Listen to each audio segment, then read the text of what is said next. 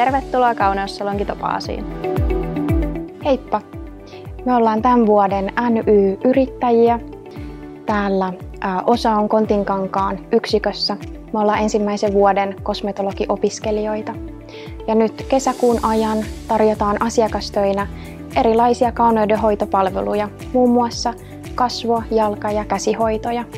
Vuosiyrittäjänä ohjelmassa ammatillisessa oppilaitoksessa NY-yrittäjät perustavat oikean yrityksen ja harjoittavat yrittäjyyttä kesäkuun aikana. Yrittäjät pääsevät harjoittamaan yrittäjyyttä turvallisessa oppimisympäristössä täällä oppilaitoksessa.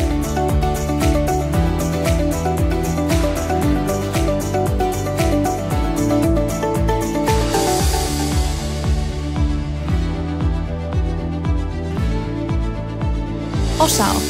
Kaikki on mahdollista.